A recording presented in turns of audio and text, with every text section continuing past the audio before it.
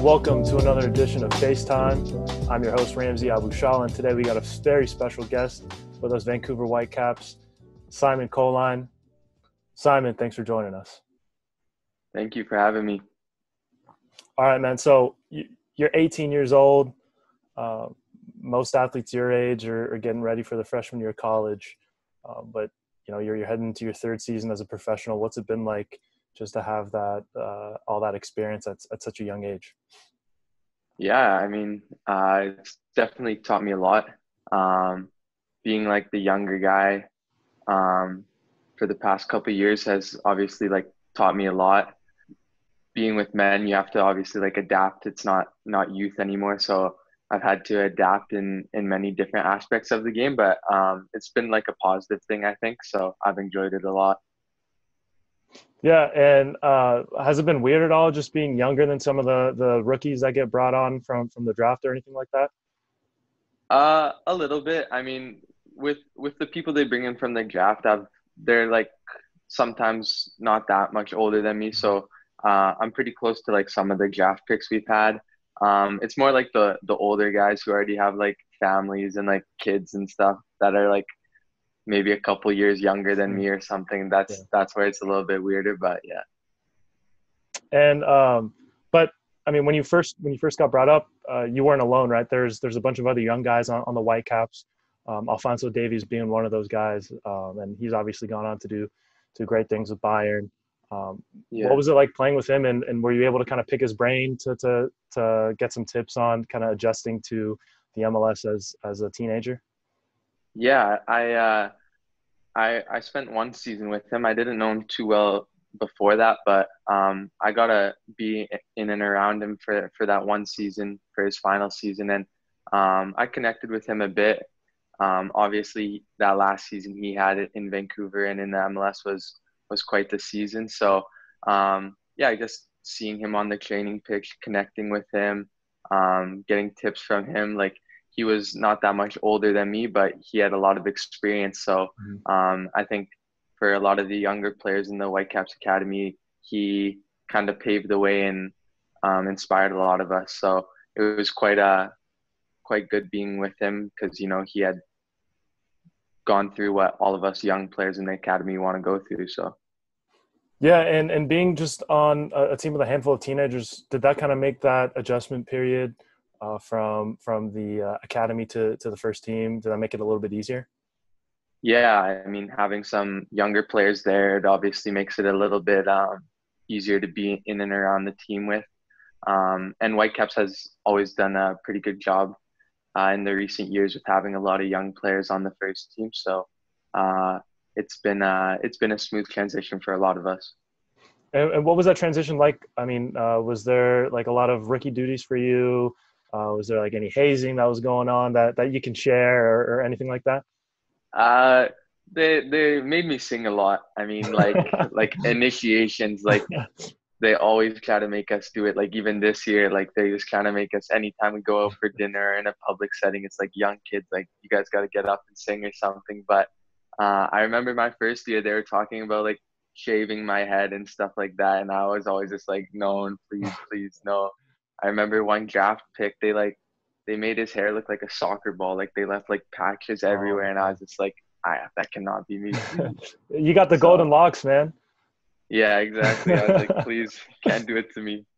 Uh, yeah, so let's let's kind of take it through that that whole um, uh, adjustment period. Was there was there a veteran that uh, took you under his wing and, and kind of made things easier for you and showed you the ropes?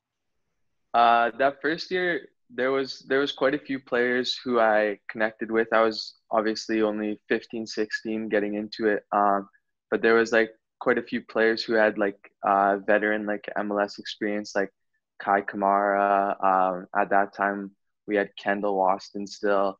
Um, so for me, like being a young player, I those guys often um, gave me a lot of tips and stuff like that because I was very new to it all. Um, and still now, um, even this year, there's many players on our team who who give me a lot of advice. Um, I connect with like Yordy on our team a lot, Yordy Reyna, because he's quite a he's quite an experienced player, and so he he's often talking to me and giving me tips and stuff like that. So, um, but yeah, that first year I'd say um, there was quite a few players who like just helped me transition really well um, and be confident in the environment that I was in. So.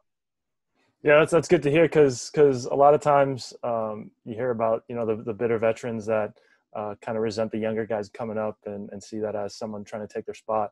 Um, so overall, though, it's been you know a pretty open and accepting experience for you.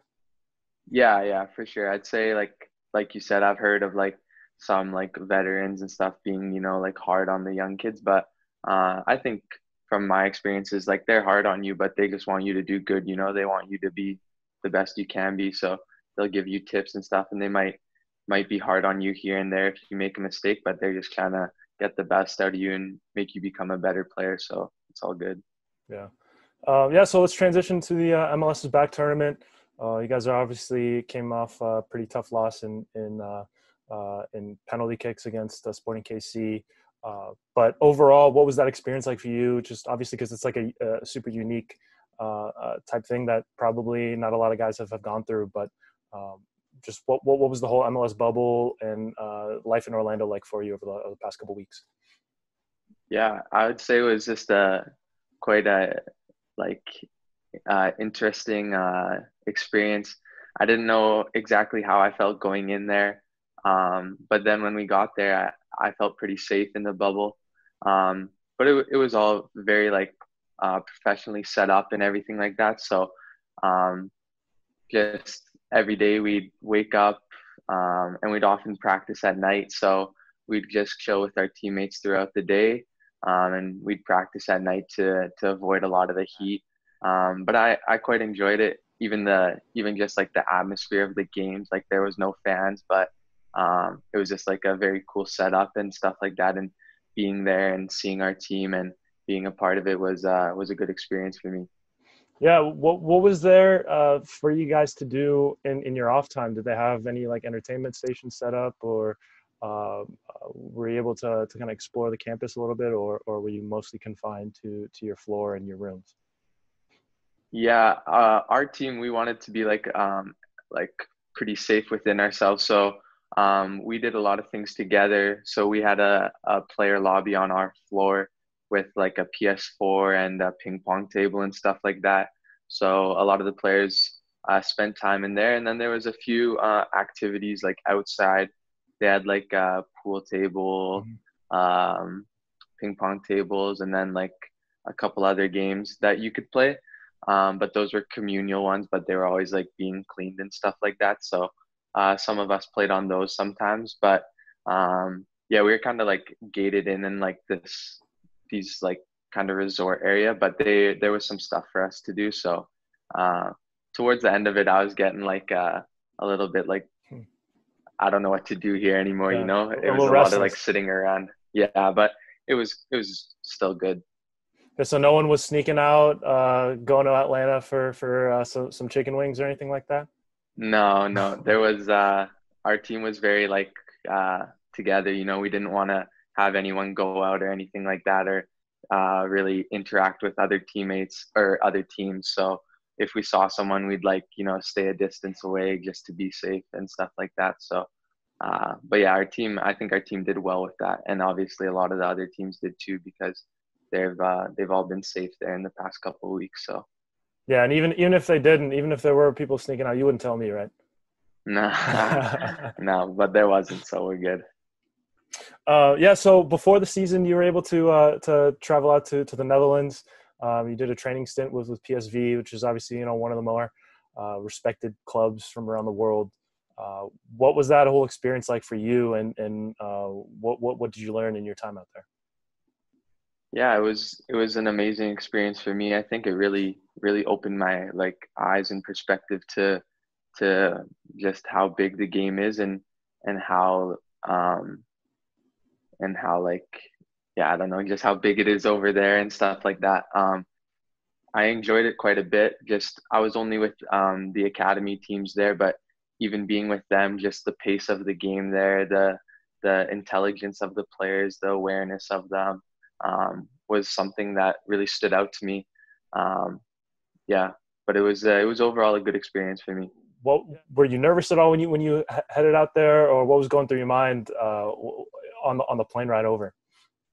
yeah, I, I didn't really know what to expect. I just knew I was going there to to have a trial and to practice with them. So um, I remember the first day, like I walked out and I was just like, I don't really speak too much Dutch, so I couldn't yeah. really interact with a lot of the players and stuff like that. But I remember I just went out the first day and the the coach for their U19 team is Van Nistelrooy, and I was just like, I didn't even know what to say, right? I was just like, I used to watch this guy on TV when I was younger and stuff like that. So it was uh, it was quite quite an experience.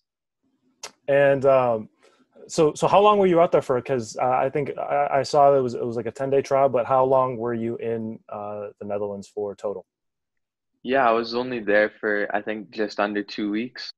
Um, I just did a couple, just just a week or so of training and some other type of testing and stuff like that. Mm-hmm. Um, but yeah, they they uh, throughout the week I practiced with them, and then on the on the weekend I got to watch a couple of the games. So I watched the U19 game. I watched the the young team, which is like their U23 team, mm-hmm. and then at the end of the week, um, they took us to the uh, first team game. So I got to experience all the games there and see it all. So it was uh, it was very nice for them. Yeah, were you able to kind of take in the culture or uh, see the sights, or was it strictly business?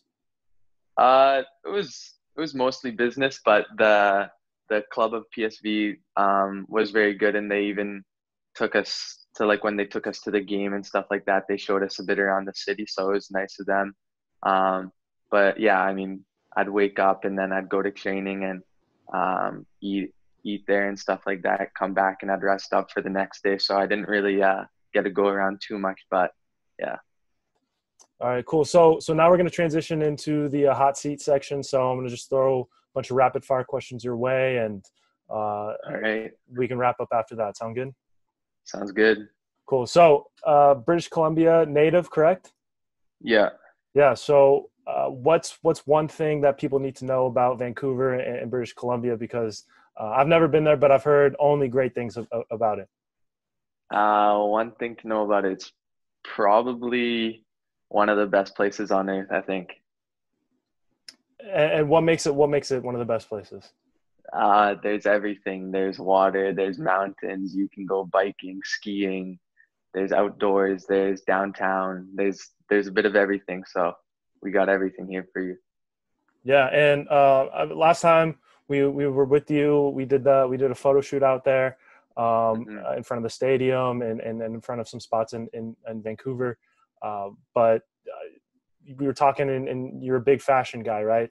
Uh, mm-hmm. So so what what's uh, what's the la- any latest sneaker pickups or anything in in, in your uh, in your eyes? Any collabs that that you're you're trying to pick up in, in the near future, or anything like that?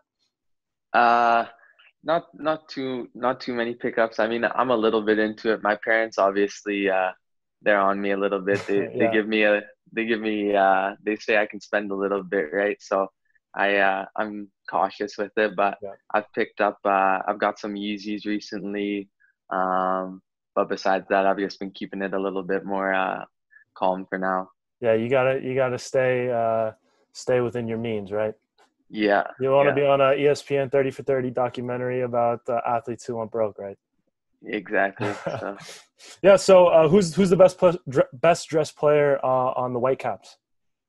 Uh, for me, probably Yordy Reyna. He's yeah. got uh, he's got some nice stuff.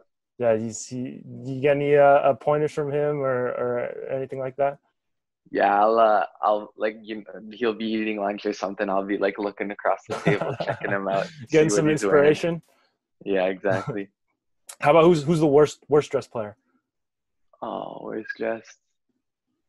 I, I can't say that. I really don't know. I really don't know. It's been a while uh, since I've seen them. Yeah, true true politician. True politician. Not trying to throw yeah. anyone under the bus. Um, all right. So when you were in the Netherlands, what what was the best and worst food that uh, you tried when you were out there? Uh, best food is like this thing called the croquette. It's like this mm-hmm, mm-hmm. bun with like a uh, it's like some meat and some other stuff all deep fried. Yeah. Um, so that's one of my favorite foods. And the worst food, uh, I don't really know. I didn't eat anything I didn't like, but uh, my parents are from Holland and they always have eel, and I don't like that. So yeah, I, just the idea, right? I mean, I I, I like um, uh, eel sushi, but um, they, when you Yeah. think about it, it, it, it gets a little a little tough there. Yeah. Yeah. And uh, finally, just to wrap things up, what's what's the best spot in uh, Vancouver to eat for anyone who's who's traveling there? Oh, uh, I I really don't know. I can't say. There's there's a lot of good things. Oh, come on, man! You, you gotta you gotta pick one. If there's one spot, I'm I'm in Vancouver for the weekend. What's one spot that I need to to uh, to go to for dinner? Uh, there's a Italian place called Marcello's, which is really good. All right, Marcello's. Next time I'm there, I'll, I'll hit it up and I'll, I'll say uh, Simon Colyn. Uh, Yeah. All right, awesome, man. Um, uh, any any last shout outs that you want to throw out there? Uh, I don't think so. Not All at the moment. All right, cool. So, uh, thanks again for joining us. Really appreciate the time. Uh, signing off for Simon Colyn and Urban Pitch. I'm Ramsey Abushala. Thanks for joining us, and we'll see you next time. Thank you.